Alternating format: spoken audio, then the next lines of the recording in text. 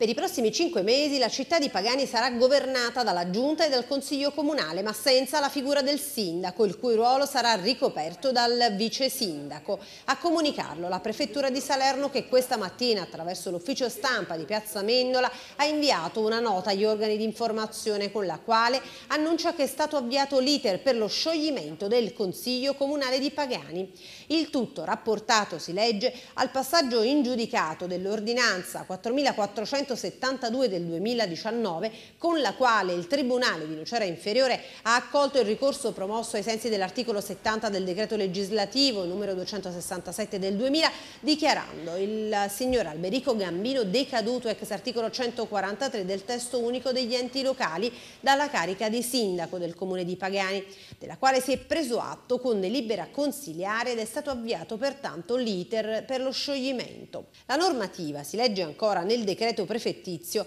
prevede che a seguito della pronuncia di scioglimento del Consiglio Comunale per decadenza del sindaco, il Consiglio e la Giunta Comunale rimangono in carica fino alle elezioni amministrative che avverranno nella prossima primavera e che le funzioni di sindaco sono svolte dal vice sindaco. Sarà dunque l'attuale vice Anna Rosa Sessa a svolgere le funzioni di sindaco, prima donna nella storia politica della città. Mattina il prefetto ha chiarito questa situazione paradossale, soprattutto che si era creata nelle ultime settimane a seguito della sentenza del Tribunale di Nocera sulla decadenza del sindaco. Restano in carica fino a nuove elezioni, consiglio comunale, giunta e vice sindaco. Ci tocca dunque ufficialmente traghettare la città alle prossime elezioni, lo faremo con grande eh, stimolo, con grande condivisione, con grande partecipazione, cercando di dare delle risposte importanti al territorio, eh, fissandoci degli obiettivi precisi. Io ne approfitto per ringraziare gli assessori, ma soprattutto i consiglieri comunali che anche nell'ultimo consiglio comunale hanno dimostrato grande partecipazione e grande senso di responsabilità e proprio insieme a loro, insieme alla parte politica, decideremo cosa cosa fare in questi prossimi sei mesi, ma abbiamo già le idee ben chiare e definite. Noi abbiamo sempre avuto grande voglia e grande volontà, l'ho detto anche nell'ultima seduta di Consiglio Comunale, non ci siamo mai sottratti alle nostre responsabilità, né tantomeno abbiamo mai smesso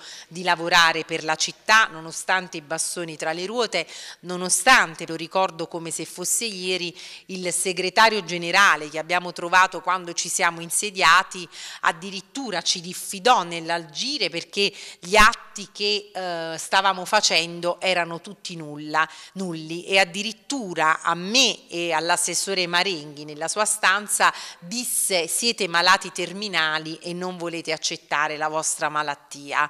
Oggi si chiarisce anche questo, si chiarisce che gli atti non sono nulli, che abbiamo lavorato bene in questi mesi, dando anche delle risposte che altri cinque anni di governo non sono riusciti a dare, mettiamo un freno alle polemiche, mettiamo un freno alla confusione che è stata creata d'arte nella nostra città, Oggi i cittadini hanno chiarezza e noi continuiamo a lavorare serenamente. Noi ci abbiamo sempre creduto, abbiamo avuto sempre fiducia nelle istituzioni, abbiamo svolto il nostro dovere dal primo giorno che siamo stati qui insediati al Comune e, e niente, oggi è arrivata la certezza che eh, l'attuale eh, amministrazione reggerà fino alle elezioni che saranno indicate quindi in primavera. La giunta con eh, le funzioni capo al vice sindaco che eh, sarà il sindaco facente funzioni proprio insieme alla giunta reggerà la parte amministrativa eh, di questo comune e c'è il consiglio comunale con il, presidente, presidente, del consiglio che procederà eh, ai lavori che saranno svolti in questi mesi. A chiarirci polemiche, basta basta, diciamo con questo veramente basta, oggi tutti insieme diamoci da fare come noi, invito anche l'opposizione a eh, rendersi partecipe della vita amministrativa per dare risposte alla città che eh, ha tanto bisogno di lavorare.